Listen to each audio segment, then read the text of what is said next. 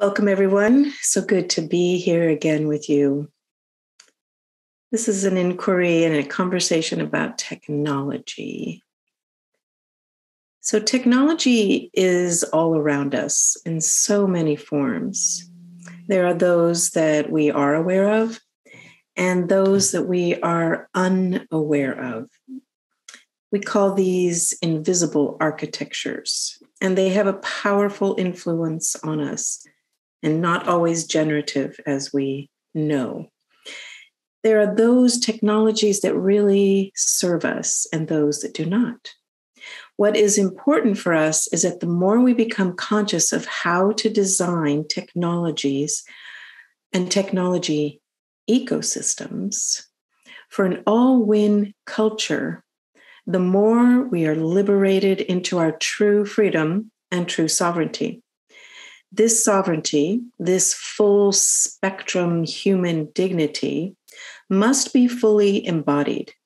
And the technology must be coming from a consciousness that can support our evolution as individuals, as a species, and in our social systems. Imagine if we designed technologies that were aligned with the principles of life and living systems holistic design and biomimicry, where we are served in who we are becoming in more of our social potential. This is a vision I have. I live inside of this question and vision. We have been so long under the spell of an impressive tech infrastructure bombarding us from all sides that we don't even fully recognize how repressed and limited we have been in these waters. It's like the frog in the pan as the water is slowly heating up. It doesn't jump out even when it's boiling. That's us.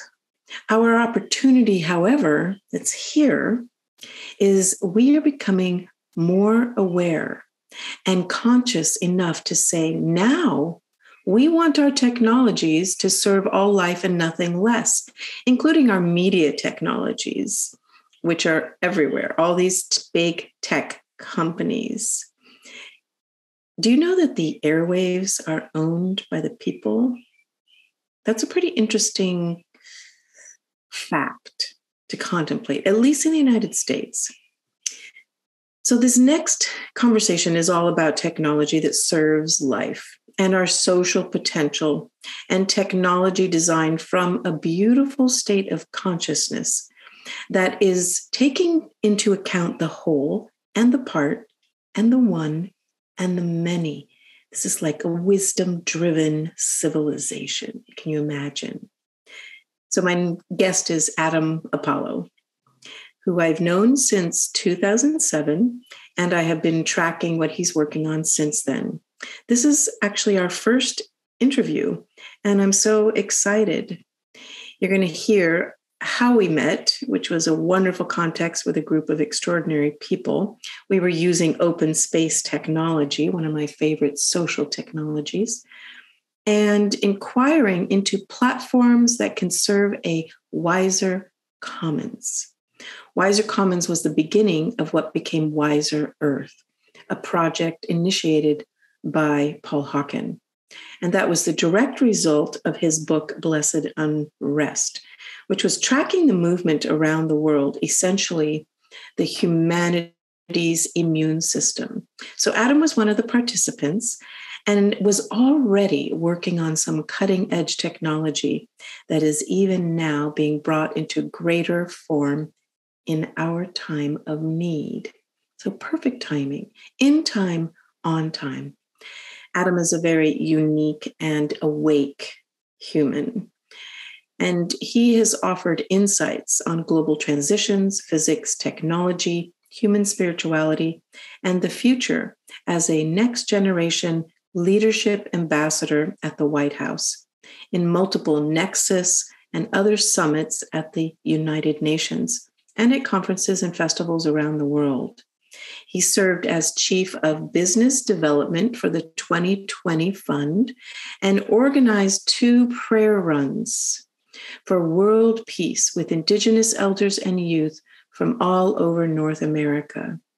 He is a co founder of the Unify movement, which has reached over 100 million people. And he has founded two education and technology based companies, Access Granted and Superliminal Systems. He's an active faculty member, author, and the lead systems architect for several international online academies, including the Resonance Academy for Unified Physics, the Guardian Alliance Academy for Self Mastery, with over 100,000 active students of all ages from around the world across these schools. It's really amazing. And now he's building a decentralized social operating system that has a revolutionary 3D Starship dashboard. And you're going to hear all about it, and a regenerative impact engine for gamification of planetary transformation. Adam is dedicated to achieving a sustainable and thriving interplanetary culture. I believe that this technology that we're going to be talking about, that he's been developing for years, can ignite some of the visions that have been foreseen for some time and that have been needing the conditions conducive for their imagination and manifestation. That imagination has been necessary to seed the soil in order for the manifestation to come fully into form. And it's time. I believe that we are at that precipice. So allow yourself to imagine the highest possible future for our technologies at this critical juncture of life. Thank you for being with us. Okay, welcome, Adam. I'm so happy that you're here. Thank you. So good to be here with you, Sherry. yes, some, we haven't been in a conversation for a while, and certainly not uh, publicly. I don't think you were one of my guests on my last podcast. So I must have missed that. Um, I must not have invited you. uh, that's okay. I mean, you and I have known each other for I don't know, 15 years or something uh, at this point. Um, yeah, maybe 10. Early, no, yes, definitely. early days of Unify when Martine and I, I think, went up there. Oh, no, 2007 at the yeah. Wiser Commons. You got it. That's it. So yeah, 15 years, like I said. Wiser Thank Commons. You, Katrina. Thank you, Katrina. Katrina. What an yes. amazing being that woman is. Yes, that was a really fun moment. We could talk about that some other time, but sure. that takes us into other domains.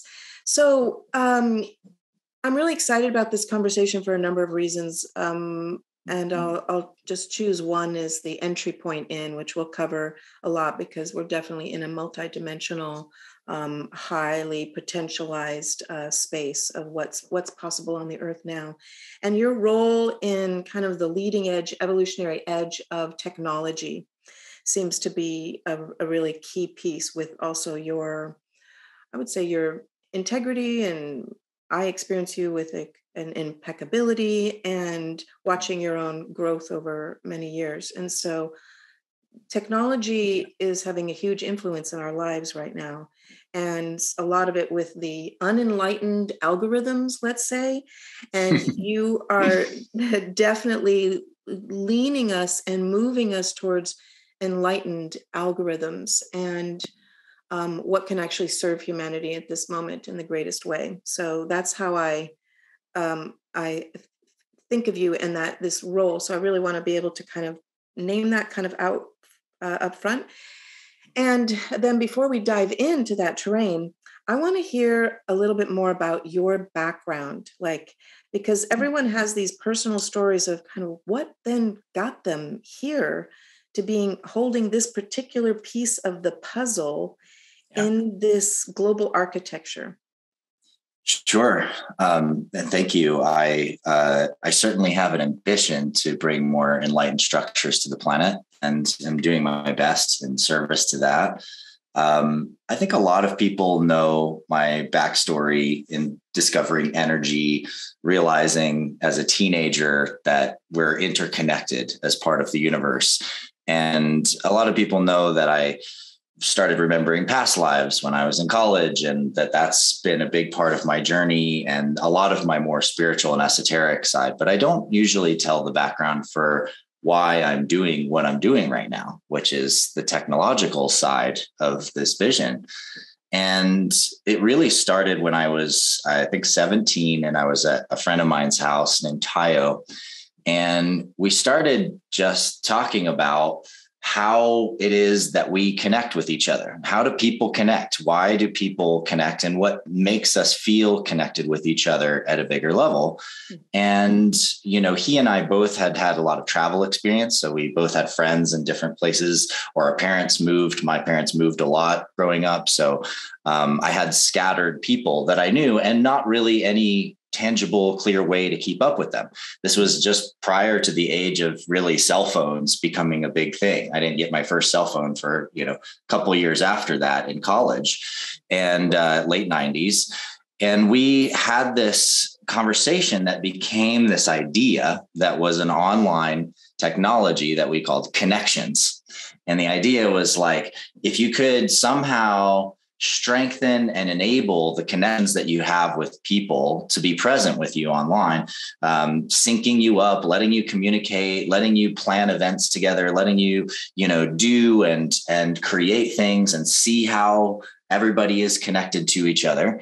Um, then it would change the world. Now, MySpace just basically started baking not too long after that, and it was really a junk show. You know, you go to MySpace pages and you can't even absorb the content because people have filled it with animated GIFs and loud backgrounds and bright colored text. And it didn't have enough constraints to the design to keep it coherent enough to be interesting. Yet, you know, millions and millions of people used MySpace. Um, personally, in the years after that, I got interested in tribe.net. And I was using tribe.net in the early 2000s, especially as I started traveling around the country to be deeply connecting with people and having some way to stay connected with them wherever they were and whatever they were doing.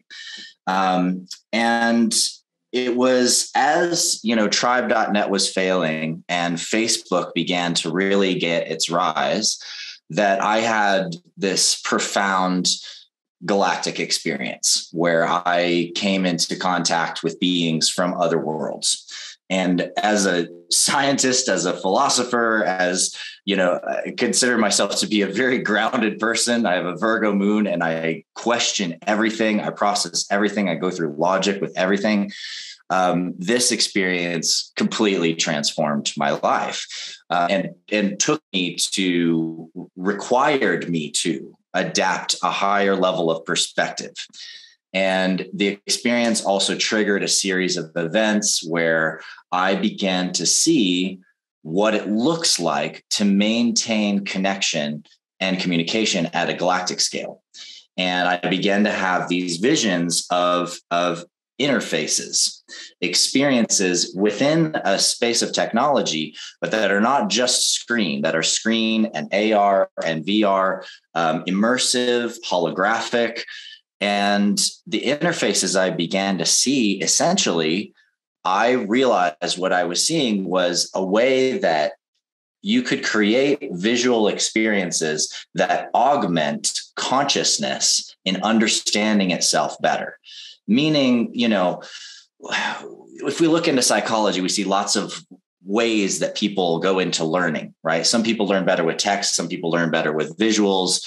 But the reality is there are fundamental principles to how the brain learns operates and interacts with things. And in the last you know couple decades what we've seen is a huge amount of abuse of that in the marketing sector, in the social media eh, sites that have been built up, the social dilemma, the great hack, all of these psychological, manipulative ways of trying to get people to do what other people want them to do, right? And what I was really touching into is how do people empower themselves to see and understand more and have more sovereignty and have more choice. Mm-hmm. And that foundation planted literally in the days when we met Um, I was having these visions in 2005, 2006, and seven. And I have, you know, the old drawings of the original geometric and harmonic interfaces designed to augment consciousness are now finally what technology has matured enough for me to build and and myself and my team. Um, so that's a little bit of my journey to here. I love that. I love that I was part of the early days. That that was that was a little bit of a momentous uh, gathering with Paul Hawken and uh, really looking Indeed. at some of the that was the the the baseline of a wiser earth. And I'd come mm-hmm. out of my own passion around platforms and technology with Indymedia, which was open source, open publishing, and um, empowering people to tell their own stories, basically. And so um, oh, that's really cool. I'm glad to hear that little piece of sort of that more esoteric, but also how the the galactic is like weaving in with uh, what is needed to remind ourselves of that we are all interconnected because we know that we're leaving the age of separation to the age of you know unity or interbeing or all these different ways synergy. of yes synergy synergy Ooh, mm-hmm. hopefully we can get to the synergy engine and the peace room that, that's coming up um, so yeah so if we look at like i just want to frame something for everybody listening and watching is that um, we're in a chaos moment. Some people, like Ervin Laszlo, talk about it as a chaos window. It's like a bifurcation. The old world is really dying and collapsing and struggling to kind of stay within that old degenerative operating system built on a different level of consciousness, right? So we're at this moment of like consciously choosing and a new operating system, and it has to come in from inside. So before we get into some of more of the external things you named, you had to get into your own level of of mastery and I've been saying this for a long time. I'm like, we could do it. We could do it. We're not yet at this level of our own mastery. Oh, it's so close. Oh, it's so close. we don't, we need, and I can feel those things in fields. I'm very aware of like the gestalt. And yeah. so I want us to feel like we're at a different precipice as humanity and mm-hmm. that we, many of us who are in service to all life, with these technologies are not in it for ourselves alone because that would be super boring and that's not the whole point the point is the connective tissue i mean who wants yeah. to do that right i know right. i need a field around me that mm-hmm. is lifting me up to the next level of the synergistic upward quantum spiral so yeah just a little bit of a taste of what some of that mastery is that has helped you with your own states of perception and that these levels of mm-hmm. consciousness that are no longer states but actually sufficient enough to like land as a stage where we're actually oh i can embody mm-hmm. this and bring it into form because that's a very high level of mastery mm-hmm. well it's all about relationship isn't it I mean, everything is relationship. Everything that we interact with, do, create, are in the universe is based on relationships. And even when you're alone, everything is based on your relationship with everything else, although you may be resisting or rejecting certain kinds of relationships in order to maintain that aloneness. Um, and so, you know, I think that for myself, a lot of the the journey has been understanding relationship and understanding relationship with myself and others and partners and how I go about my life and live my life. And it makes sense because, you know, when I woke up when I was 15, realization was that there's this field that we are all immersed in. And mm-hmm. this field of force and energy emanates from our bodies. You know, it's been called ki, chi, and prana, and vital force, and life force, and odic force, and you know, the quantum vacuum, quantum vacuum fluctuations. Uh, lately, the Higgs field, although that's kind of like a bastardization of it. All of these things are essentially this field of force and flow and vibration in which we are in. And the beautiful key that arises when we start getting in touch with this foundational structure of space-time mm. is that you don't stop being in vibrational relationship with the things around you and the people that you know when you're by yourself.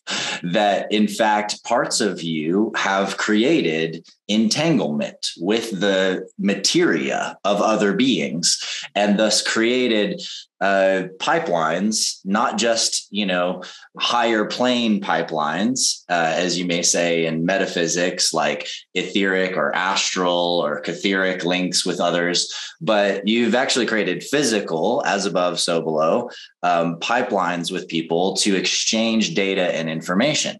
And, you know, what I'm really saying here is that, you know, moms can feel their kids when they're outside and one of them hurts themselves.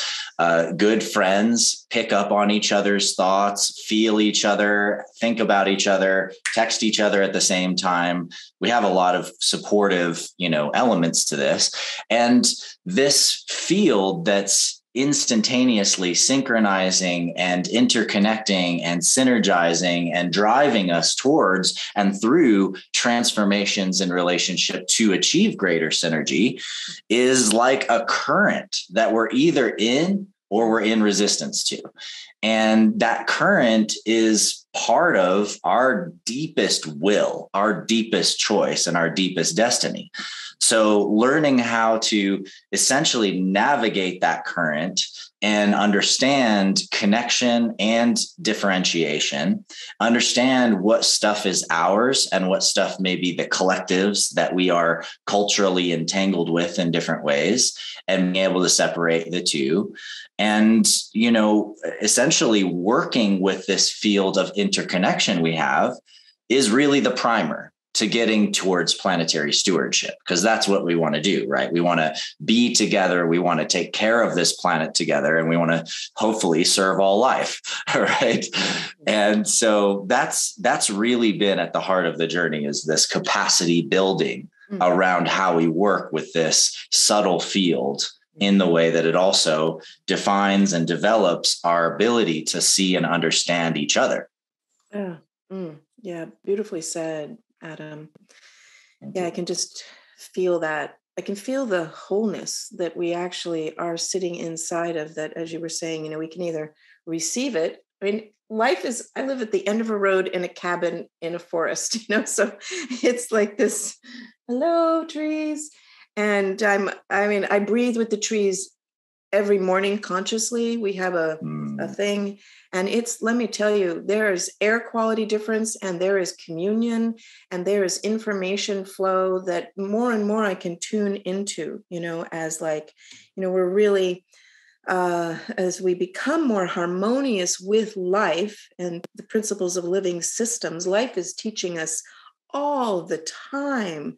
And we're just cleansing and purifying ourselves from these old patterns and these old programmings and which is why i'm i'm really i don't i'm not giving you i'm not praising you for the sake of saying oh adam it's more like thanking you for the work you've done to get yourself to listen enough to be at this place to be in stewardship and intentionality around this the technology that's the exterior technology to support this kind of inner collective awareness coming up to another level. So, uh, super juicy. We could, you know, if we had three hours, we would dive into that part and that would be so fun. Let's have part two. Um, okay sounds great.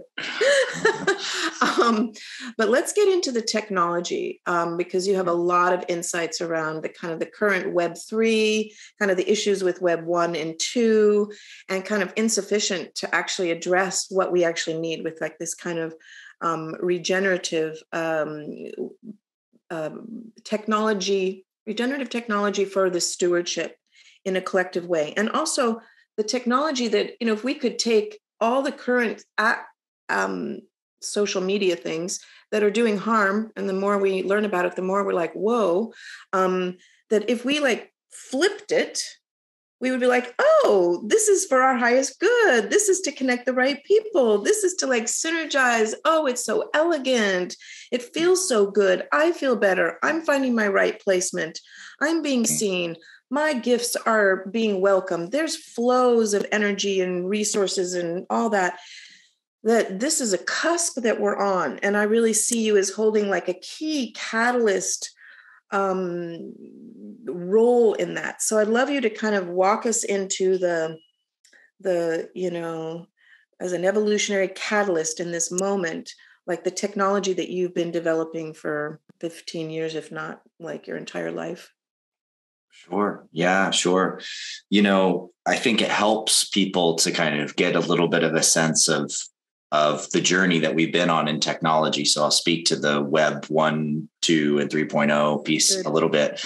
Um, you know, web 1.0 is is what we had in the 90s and you know into uh, early 2000s which is still is prominent and really you know a lot of the web is basically uh, publishing. It's essentially like I have a blog, I have a thing, I write, I put stuff online, people read it. Cool, right? I now have information being shared. And you know the heart of that is i store that information on a website on a centralized server and that server distributes that information to everybody and and the more people that look at it the more it challenges that server because the more people are connecting to that computer at the same time right? Web 2.0 magnifies that problem because in Web 2.0, it's not just about uh, me serving you data. It's about us serving each other data. This is the rise of the social network era, the MySpaces and tribes and Facebooks of the world, right? Metas, whatever it is. Um, and and when you start having bi-directional communication, now it's just it's people pinging a server, servers giving data back to people, people giving data back to servers, and it goes back and forth more and more um, essentially, you know, there's more and more weight on these servers. And this has given rise to the age also of massive server farms, you know, where Google and Facebook and others, you have like these massive underground caverns with just thousands and thousands of computers and servers all interconnected, all just like sucking down more energy than entire towns or cities, you know. This is like um, a, I, I want to stop this for a moment here because sure. that's like a scene from a movie. you know? mm-hmm. and mm-hmm. i we've seen some of those scenes in some of those movies but it's yeah. like you just saying that to me here just have a moment for people to kind of get that image that that is currently going on in terms of the invisible structures that are as you said sucking down energy which we know bitcoin versus ethereum versus holochain versus whatever's coming there's a yeah. i just heard mark kane tell me about this math person i'm sure she shared it with her about like oh mm. sacred geometry math and mm. what happens with like oh 32 million interactions in like a second versus five minutes for one you know you're like where mm-hmm. so mm. just mm-hmm. land that a little bit because we yeah. all are like trying to be regenerative and right relationship with life and energy yeah, well, I love that you mentioned these crypto projects because that's the, you know, another step that I was going to go to. Good. Essentially, in this same era of massive server farms and centralized applications, the the other massive problem, well, let's just say first, Bitcoin arose in that those days too. Um, and Bitcoin's design is absolutely brilliant. And still, it, it has one massive flaw that flaw is that when someone tries to give somebody else money, that monetary exchange has to then be updated in all the ledgers of all the computers of everybody that holds a Bitcoin wallet in the entire world. That's like imagine Sherry if I hand you $100 and we're like, okay, cool. Are we done? Nope, not at all. Okay, push the thing on your phone and now your phone calls all the other phones and updates all of it to make sure that my $100 is real and is not duplicated and can and be given to everybody who touched that dollar bill yeah, well, it's and it's just not how real life works at all, right? And so, you know, this this it, by the way, Bitcoin uses almost as much energy as all actually I think it's now more than this amount. This was in 2019, this was the numbers, but in 2019, Bitcoin used almost as much energy as all of the massive largest world banks combined all their branches, all their ATMs everything like more than all of those facilities combined. Now, by the way, these I'm talking about skyscrapers in like almost every city, right? You know, you right. can you can imagine. Right. Um, and so so there is a bottleneck to this global ledger just as much as there's bottlenecks to centralized server farms and ethereum is a great example of that too because what you're essentially saying is all of you can build apps on ethereum but you all have to try to save your data to the same ledger you got to all get your piece in your block in and in order to do that, when there's hundreds of thousands to millions of transactions competing for that next block, the cost and the energy use is ridiculous mm-hmm. just to get the next thing saved in the ledger. Mm-hmm. And so that's all still really parts of the Web 2 problem. Even though we think of Bitcoin and Ethereum as Web 3, they still right. are operating with the same uh, basic mentality of there's got to be this one final source of truth, right? And we really see the issues of that spill over into the kinds of issues that we see in the social dilemma and the great hack and centralized systems essentially kind of aggregating the control and force over the data that they've received, learning what everybody wants and needs, and being able to essentially manipulate them as desired, you know, and throttle them, keep them from reaching their audiences, force them to pay for marketing spend. Um, there's a great series out on Amazon Prime now called, um, it's on Showtime actually, but I'm watching it on Prime, um, called Super Pumped. And it's, it's really the dark, dark underbelly story of what happened behind Uber. And seeing the ways that they abused those rights to spy straight through people's phones and their cameras and their their their microphones to know what their drivers are doing and what their pain points are and be able to manipulate that um, is just disgusting. And so we we've all seen or probably heard of a lot of those problems. Now, Web3 has seemingly been this recent, oh my gosh, Web3 is happening. But we were talking about Web3 in 2007 in Wiser Commons. And the original concepts of Web3 were actually about how the internet is based on language and our communication is based on language. And so, how do we make the internet more semantic? How do we recognize meaning in all of this data and information, which was really our, like this. Our, yeah, no, keep going. I'm just excited about that. How we create meaning from the information flows and relevancy. We know we've heard, you yeah. know, how are we actually creating those kind of filters that can support us in seeing what's emergent and relevant and nurturing the fundamental conversations as we are sense making. That's right. That's right. And meaning making is something that causes us to go into a space of better understanding each other and understanding ourselves, right?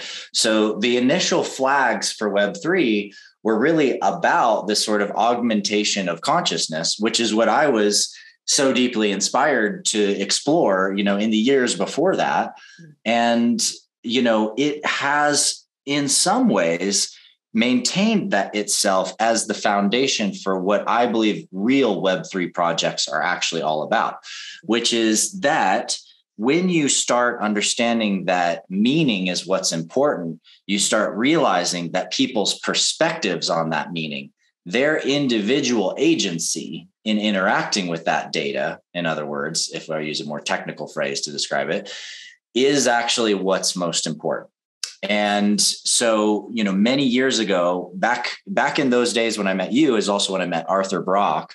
Mm-hmm. and art and eric you know had this vision of this project Ceptr. And you know it didn't didn't really even get fleshed out for, for you know until a decade ago or so.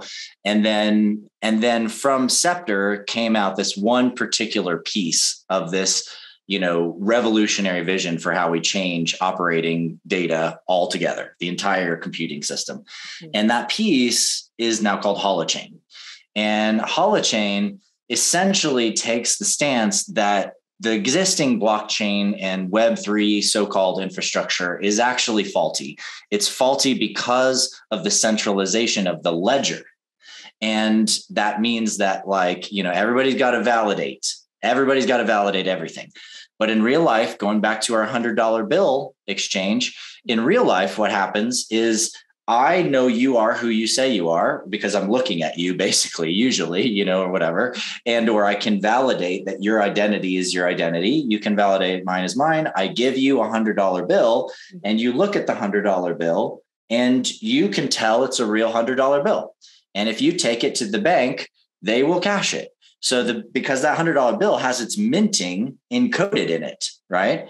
And so this is the way that Holochain works. It says actually all you need is the record of identity that's my record of identity, your record of identity, and the record of identity of the token that we're exchanging. Mm. And that's all we need to do the transaction. Nobody else even has to know. And when you go take it to the bank, which is like a holochain app, that HAP can essentially verify for you yes absolutely this we can track the chain of this token back to its origin. Yes that identity is correct. So haps can be these sort of mediators and validated service units um, but the real deal is just you and me and the energy use is like nothing right mm-hmm. and and we maintain our own perspective on that exchange and that data which is really powerful when we start looking past financial currencies mm-hmm. because we live in a world where financial currencies are not the only kind of currency we're operating in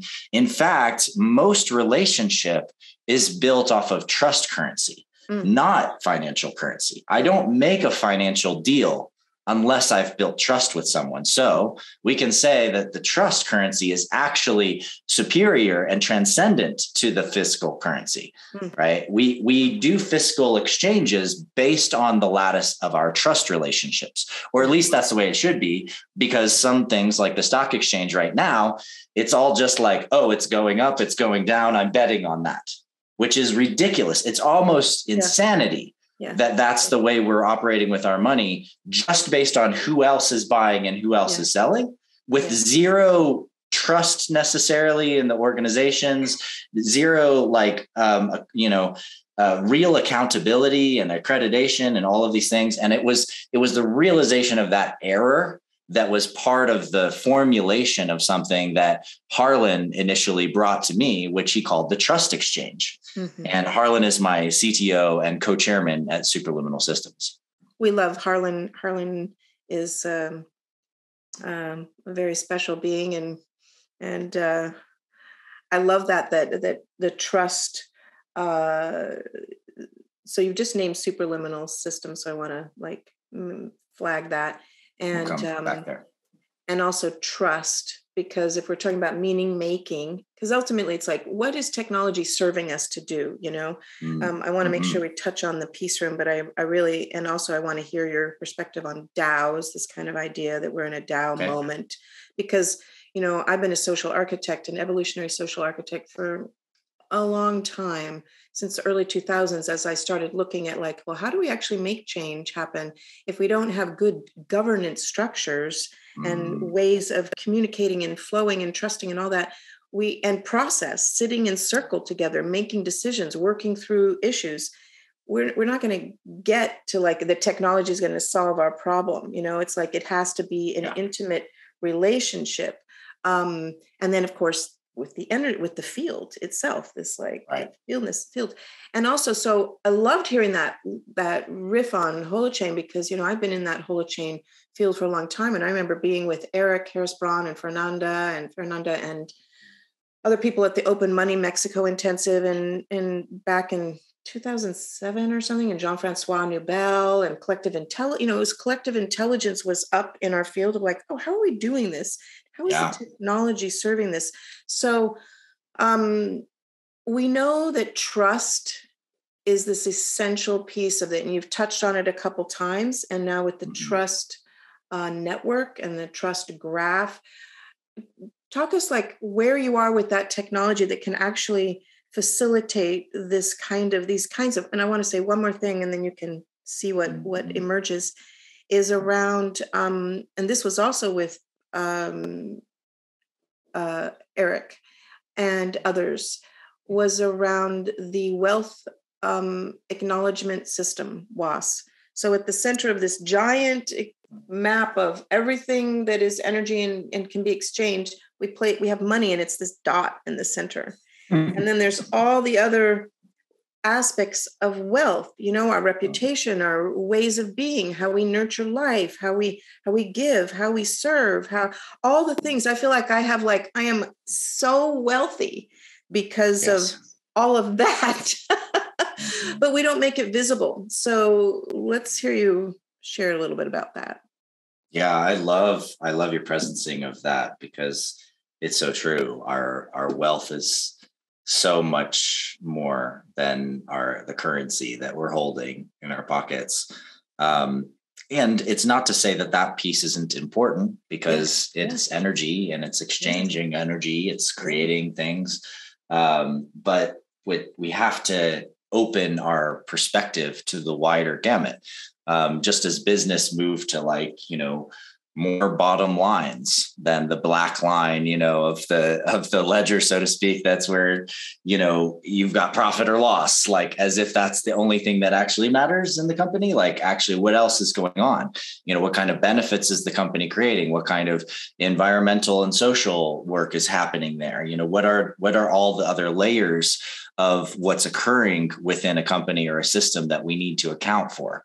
And that's one of the really powerful and beautiful things that technology affords us. And this is, you know, I, I have friends, I have some friends who, you know, literally hold the perspective that uh, technology all has to fall for us to get to the next stage. And we need to all just go back to like being on arm and like not using it. And and I look at them and I say, you know, like like that's a fascinating vision but what you're basically asking for is destruction of everything you can imagine like the, you're you're literally calling for the most massive wipeout of human creativity and and probably life on the planet mm-hmm. that that we could even imagine to go back that far because people are growing and evolving and we're constantly learning new things and developing new tricks and new systems and I'm much more a Buckminster Fuller guy, where I believe that transcending and including is the key, which means we're not going to lose tech, but how do we start operating with technology in a way that gives us the power to understand and see all the pieces of the puzzle that we're dealing with that actually augments us in stewardship and management of those resources, right? So, what does that all come down to? Well, it all basically, you know, hits the ground at the level of the trust currency. And, you know, our journey in Trust Exchange to now what's called Trust Graph, which is an open source project, which we're in dialogue with groups like the Blue Sky community around implementation of Trust Graph as a foundational, integrative, uh, relational system and reputation system, essentially, that can be part of the foundation of all of these different decentralized and web3 projects and stitch them together is is actually about understanding that in relationships and in dynamics with each other in real life it's not 1 to 5 stars whenever you're interacting with something. You're not actually ever just saying this is good or this is bad you don't. Human psychology and our beings don't do that. We what we do is we say, well, the food was pretty good at that restaurant, but boy, that service was kind of crap. Um, but I really liked their bathrooms; those were nice. And the area of town, you know, it was okay. Like it was a little bit of a commute to get there. Like we have all of these different data points, and each of these different data points and frames have different levels of our reputation or trust that we're giving to those things to let other people see what's good and bad about a certain situation. And relationships are even more complex than things like restaurants because they're, you know, you might have a particular friend or something, and they maybe hold a certain belief or a certain idea, or they've, you know, gone down a certain rabbit hole that makes you really question their you know their integrity or question you know their um, their logic around certain kinds of things. And i'm sure plenty of people question my logic just because i talk about you know galactic species and past lives and spiritual development. However you know if they actually listen and pay attention and or have a conversation with me they'll discover that those are all developed frameworks in me based on years and years of logic and experience and direct things that I had to the framework for explanation around. Mm-hmm. You know, it's not not just like out of the blue. Mm-hmm. And so we we need to That's look in our relationships. An, an important I want you to pick up right there. Yeah, but an important sure. point for people of like these things don't emerge because they're theoretical out there or we believe something just because that does happen but the yeah. integrity of actually direct experience of yeah. something i have the same sort of story of like these things how do i explain them i can't even talk to anybody about them you know right. and then right. over time we make sense of it because we are much more vast than we actually realize and so we need those kinds of per- walls of perception to be broken down so yes. I wanted to just yes. affirm that for people and for your own when you're in the mystery of not knowing, that's okay. Because yeah if you're not willing to look at the not knowing, you're not going to get very far with your own growth of of what's happening on the planet and what's right. possible on the planet. Right. Absolutely. And I love that you interjected there because you're pointing to something really really essential in what what I was in the middle of sharing which is that in our relationship field we have to start to really recognize that sometimes we apply trust or judgment because of one thing that we disagree with about somebody and and actually try to you know put that as the overarching trust on them completely and just push them off. And that really doesn't work. That creates major division and conflict and it doesn't actually acknowledge people for who they are because you might have low trust in someone in you know a particular sector of relationship or maybe they are not a great cook or whatever but they might be amazing as an artist or a physicist or whatever and if you throw out the gifts they have because of a shadow that they're still processing mm-hmm. then you're really missing and you're losing the person mm-hmm. and you know in relationship to what you just shared with me I I have this particular you know thing where I've had to go about specifically talking with people about their experience to understand what they're capable of understanding right? To, to understand what they're capable of accepting. And I had this opportunity to have dinner with someone. Uh, it was a group of new friends that I met when I was at the Liberties Horizon event in, in San Diego, and um, and this woman brings her boyfriend to dinner and uh, with with some of her other friends and me. And she's like oh you're a physicist. Like i would love for you guys to talk about the flat earth because her boyfriend had gone down this rabbit hole and he fully believed it and he'd just completely gone there and believed that that's the case so i thought well this is going to be fascinating i want to really just ask this guy questions because i don't want to make him feel bad in front of his girlfriend i'm not trying to you know i, I want to actually get right. to know these people as people yeah. not just instantly go oh he's a flat earther i'm out of here you know like this is bs you know that's just never going to solve any kind of problem yeah. and so through the conversation what I discovered by asking him questions like Have you ever taken a flight in the Southern Hemisphere? Do you understand that if the earth was a disk how much longer the flight times would be on the outer rim of the disk in the southern hemisphere as it would in the northern hemisphere?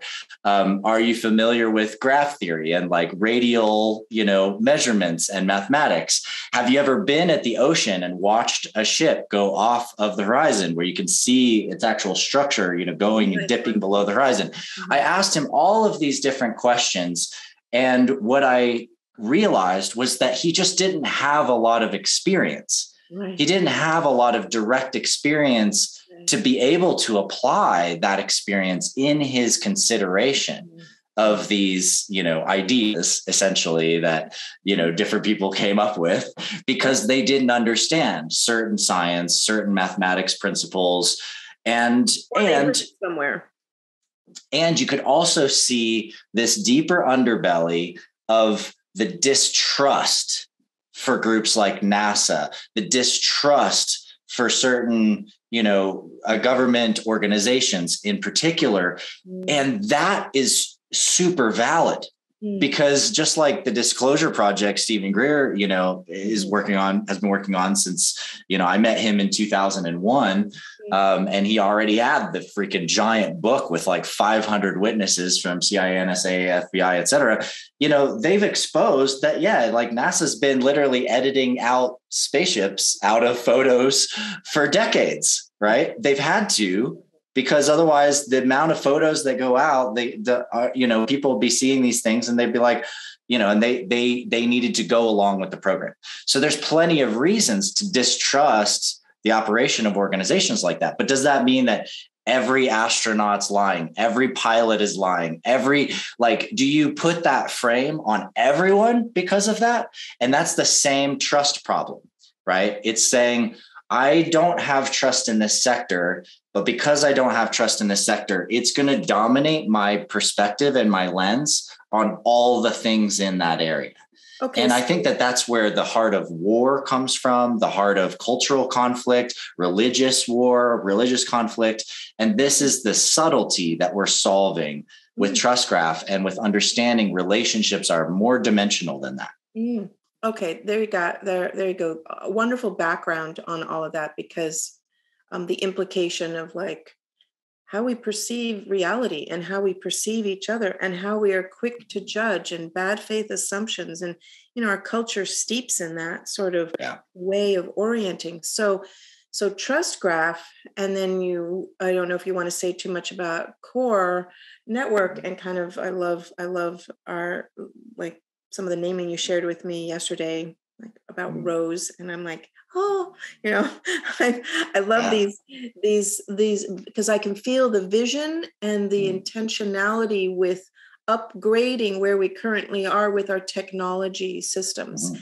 and you can't like you know einstein says uh i think it was him some people say not but um you can't solve the problem at the level of consciousness that created it Right. It just it's it, you can't. It's kind of like well that, that, doesn't even how no you can't. So so we've yeah. we've been in this increase of our our consciousness awareness and we've been growing and developing and now we actually I believe are at this cusp of where we can initiate and activate things like even Barbara's Peace yeah. Room, which was her vision in 1984. But yeah. when I started working with her in 2005, we were doing peace rooms, but yes, the peace room, but we couldn't. Yes. I love it. Yes, I want to hear hear you share about that because these dashboards and like how we can track and what our metrics are and how we can make visible things are actually emerging. Like we don't even yeah. in the media, we're surrounded by media that is like mainstream media for the most part, telling just distortions of what's possible. Yeah. And we need to know actually what is happening, where the needs are, what's actually working, where things are emerging that are beautiful, and how we can nurture them and put attention to them, you know?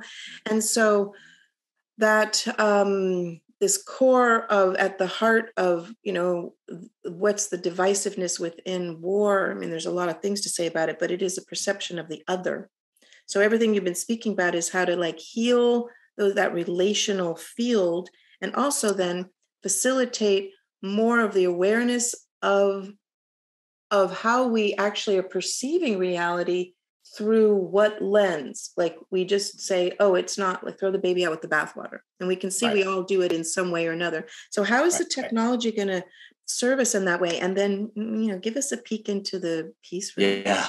Yeah yeah let's go there. Yeah. um yeah. So I'll start, I'll still start with Trust Graph because that's where we were. And I'll just kind of tie a nice bow around that and say that, you know, the power of being able to see the energetic dynamics of relationship is what it's actually about. Mm-hmm. And when you start tracking your energetic relationship with things, you now create what we call in the tech world an index. And the index is essentially the source of a data field that enables you to search and locate what's important inside of that data field. right? So you think of it as the glossary at the back of the book or the index at the back of the book that points you to where everything is. This is for you.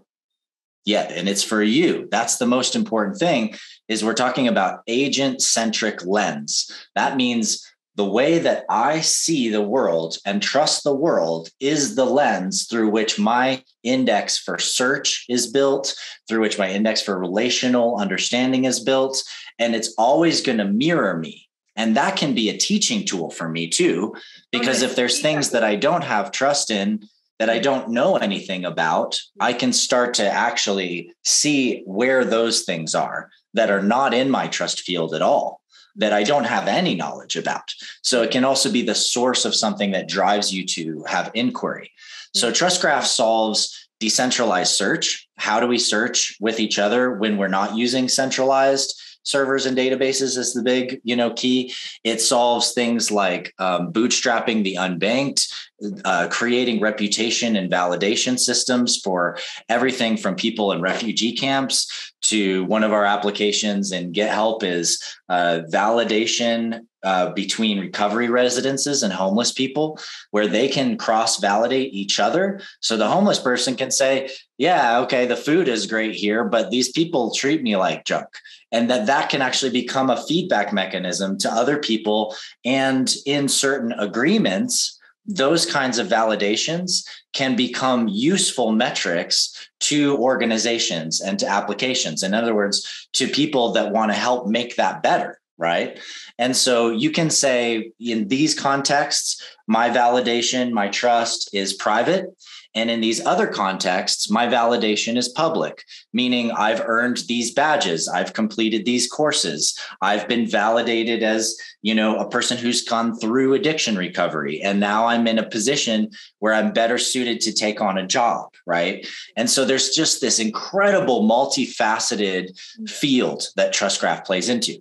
But it doesn't do all of that magic alone right? And what we realized is that you know we're in a situation where our social field is so unbelievably tampered with and screwed. It's it's like insane. Have like have you ever tried searching for who your friends are in certain locations on facebook oh, um in a sequence? they don't make it possible.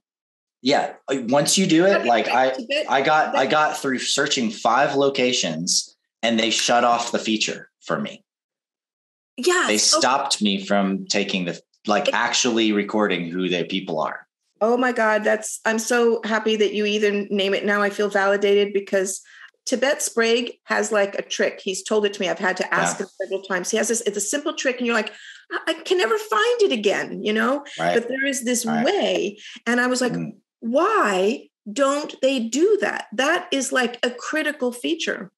Yep. And why can't you take a list of your friends and your that you are your favorites, maybe your closest friends? I think they have that tag on there, right? Yeah. So why can't you just take your closest friends and just map them on the planet? Yeah. Like why why can't you actually see a map? I mean, Facebook's got the money, they got the servers, they can totally do it.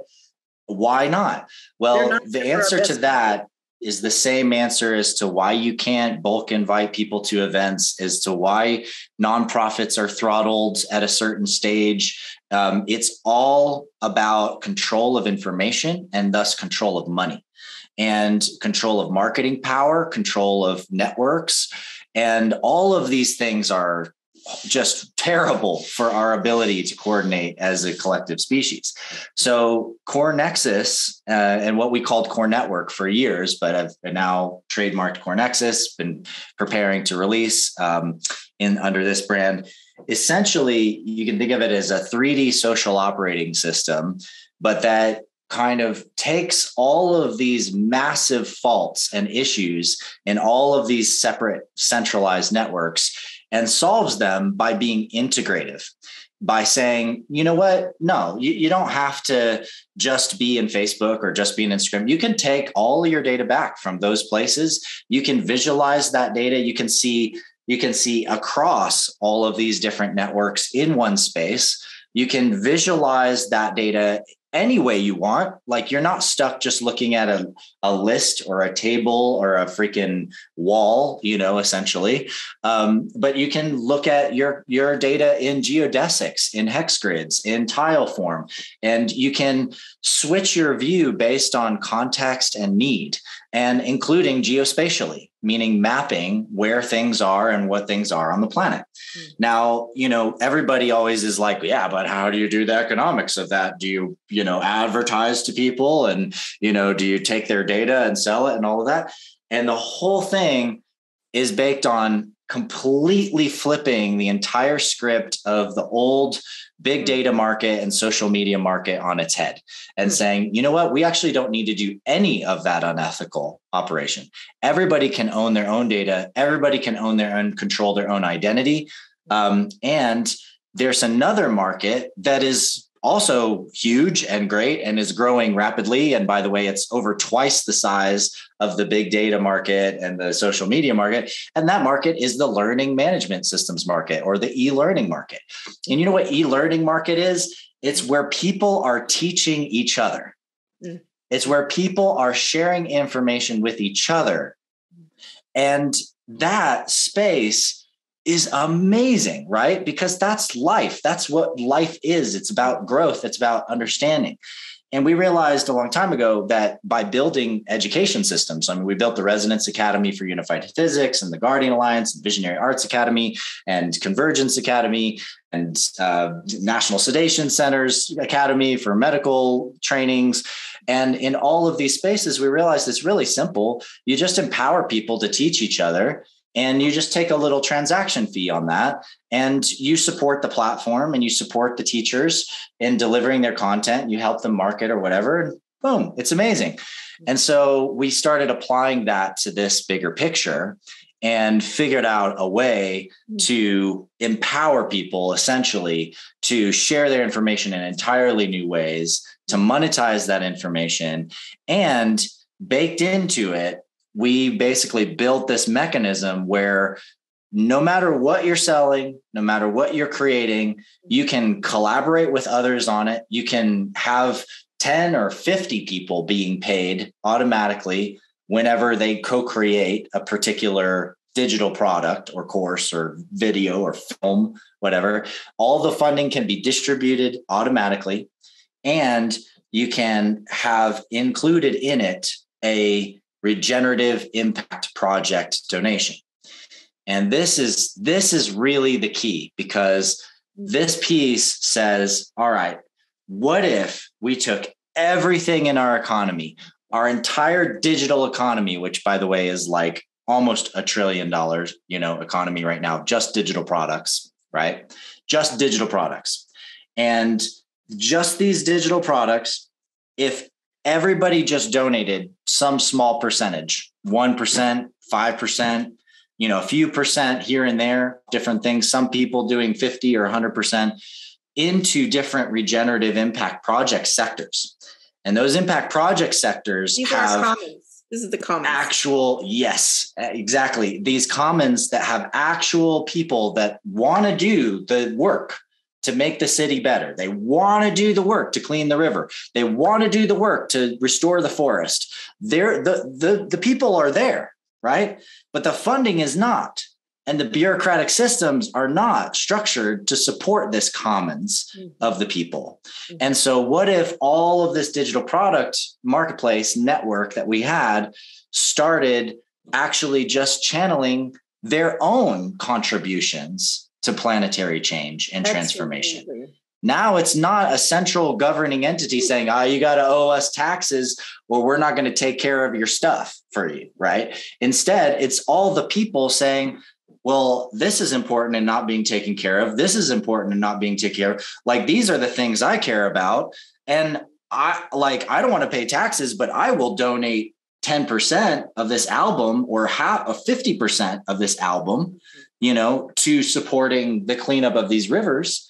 And now you're you're gamifying this process where people are contributing to the change that needs to happen.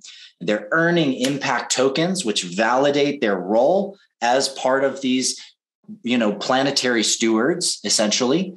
And now it's not just about how many likes or how many, you know, whatever you got. Mm. It's about how much change you're making by how much service you're doing and the things you're creating. And you know what? It's freaking awesome because as you're doing more service in those ways, you're also making more money. So you're more successful too. And it's not like, you know, you don't have to choose one or another. Hmm. You can become successful and serve the planet and be a planetary steward at the same time. And so we call that the regenerative operating system experience, which is the rose at the heart of Core Nexus. The rose at the heart, regenerative operating system experience. I love that you have experience as intimately interwoven because that's mm. really what it is. That's that kind of leads us into the embodiment piece of it is this mm. like oh we're not just talking about this we're actually we're embodying it i love that yes so adam we i know that you have little time left and i want to make sure that we just close with um that's a lot and i wish we had more time but i understand you're like launching and lots of big things are happening and i appreciate your time so much mm-hmm. and um yeah i I think a question that's probably on a lot of people's hearts and minds as they're listening to this is like, when is this coming and going to be uh, available for us? And mm-hmm. and also maybe just a touch on alleviating people's concerns that maybe they're not thinking that they're techy enough to be able to mm-hmm. play in that way. Yeah, yeah, sure. Thanks. Um, yeah, timeline is still a little flexible at the moment. and we're ramping and up and scaling right now. Um, we're building a lot of key components. We have a lot of the the sort of core architecture dialed and a lot of the visualization systems dialed. Uh, it's a huge project though. And yeah. you know, when you're not, when you don't have a billion dollars to spend like Facebook, you have to work with what you've got. And um, a lot of that's been bootstrapping for years and and building prototypes and components of this thing. Um, but now we have some really amazing partnerships coming in and some of these partnerships have massive mainstream licensing with certain groups that i can't talk about but i'll just say that like you know their names you've already seen you know media from them like it's out it's out there in a big way mm. and so we we are preparing this thing in a way to be able to deliver it as large and to as many people as possible mm. and we have to kind of ninja our way into escape velocity to overcome the resistance of the major platforms that are out there right now that don't necessarily want to see something like this succeed because it's going to kill their whole business you know? Um, and you know I, I i am not here to be someone like you know the guy behind uber that's trying to go to war with all the mafias and all of the big agencies. I'm not here to go to war.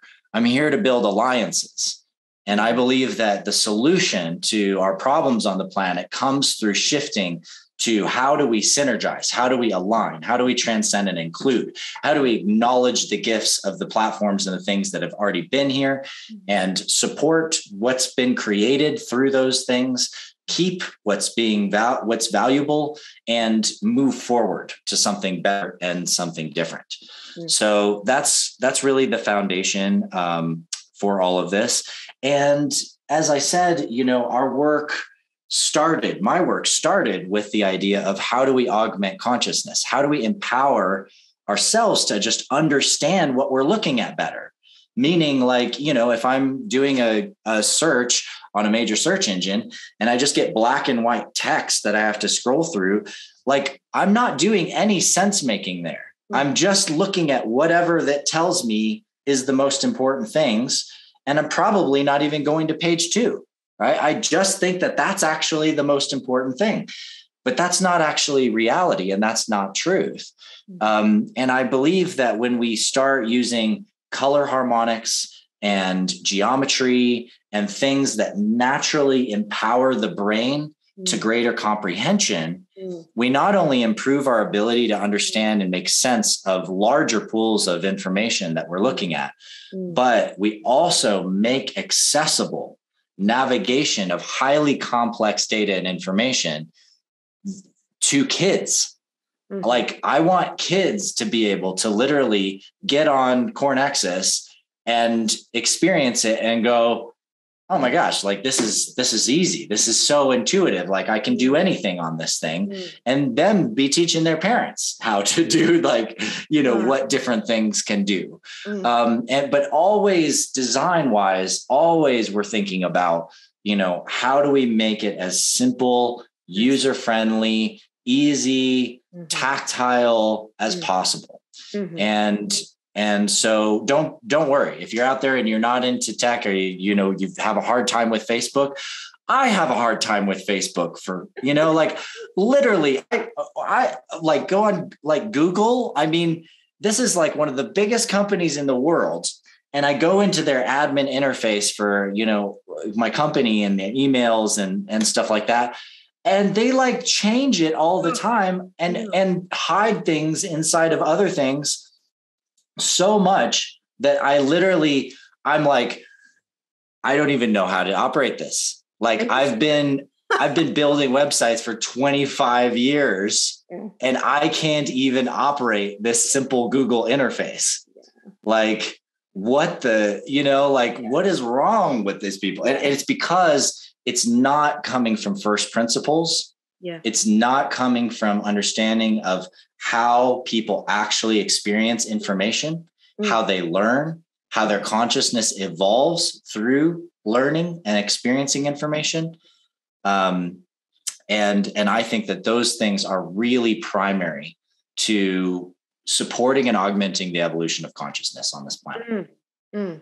I love that we that that's our kind of closing frame is and actually it, i've been having a vision of technology platforms that you would enter into it and it would be this like harmonic space where your body would be would be like oh i feel so good here and oh i'm actually seeing more than when i first entered and i'm having more kind of my body is relaxed i'm not in like an incoherent mm-hmm. field um, mm-hmm. designed to kind of extract. I'm actually the the intentionality of the technology is here to serve my own growth in order for me to fulfill my mission and dharma on the earth. So, yes. I I, I, love hearing all this, Adam. Yes. And well, uh, before we close, I have yes. a couple more minutes. Um, I just want to honor Barbara Marx Hubbard for a moment. Let's do it. And do it. you know, people often ask me about this space behind me, and I really like to share with them that this is, uh, to me, the embodiment of the peace room that Barbara Marx Hubbard envisioned many years ago. And yeah, it looks like a, you know, it looks like a starship deck essentially, you know, and it has that vibe to it too. But notice that in the center of this thing is Earth. And these are all dashboards essentially looking at what's going on in different areas of the planet. Mm-hmm. And to me, this is the key. The, the key is actually having the virtual as well as in the future physical spaces where we can really see and understand ourselves as a species on a planet and what we're going through and where our challenges are mm. and i want to know where the worst you know polluters are on the planet and and how we can strategically work with those people and those companies to change the way they operate. As much as I want to know where forests are threatened or where new forests are being built and I want to know where the land projects are that are you know stimulating regenerative thinking and new ways of gardening and new ways of farming and being together. All of these things are essential points mm-hmm. and and by seeing it in the world seeing how we're connected to it, seeing how they're connected to each other, and being able to actually drive resources and and connect the dots that is the key to planetary stewardship at, at large and i think barbara marx hubbard really saw that mm-hmm. from the beginning and for me i was you know it was in uh, 2007 actually i think that i was in the um, uh, international symposium on digital earth in san francisco and a speaker at the gala dinner there and i met all these people that were passionate about planetary visualization, but not always for necessarily all the right reasons. But I could see that planetary visualization is actually really mm. so essential to us stepping up and being stewards. Um, and I just wanted to honor Barbara for her long time journey in that and seeing that. And uh, I hope that we can make her vision real and bring forth the synergy engine that helps connect the dots between all of these projects. That's so perfect. Yeah, she's just really beaming at the moment because so many of us are our lineage carriers. And I, when mm-hmm. I met her mm-hmm. in 2005, I was that's what we were working on was the peace room, and we didn't. And then for until the end, until she passed away three years ago, I we were looking for the platform, the technology platform for the synergy engine, and yep. you know we, she knew it was coming. She knew it was coming. She was so ahead of her time, and you know, and the way she would language it in some ways is like map, track, scan, and connect what's working. And what I really mm-hmm. feel in this whole what you're naming here for this peace room is that we needed a peace room as sophisticated as the war room. And that that is like this shifting consciousness. And what you're naming about the the the the earth and the center is when we do that when we can have this kind of experience through technology because we can't really do it ourselves like know that we are well we can but but it's different without the traveling everywhere but you recognize that you're not just a small local self you're actually mm-hmm. related to every single thing and we are like one super organism and when we can see yeah. that we're one super organism then we have like a we can actually see more of what is right relationship in in in in life um mm-hmm. so yeah barbara's beaming that's is really good and um it's timely right and timely so, so yeah so good um thank you adam this thank is great you, thank My you pleasure. Thank you so much. And I look forward to the next time we get to speak. Me too. Thank you so much. It's been an honor and a pleasure. And thank you to everyone listening in. Yeah. Thank you, everyone. Stay tuned for uh, next week's episode.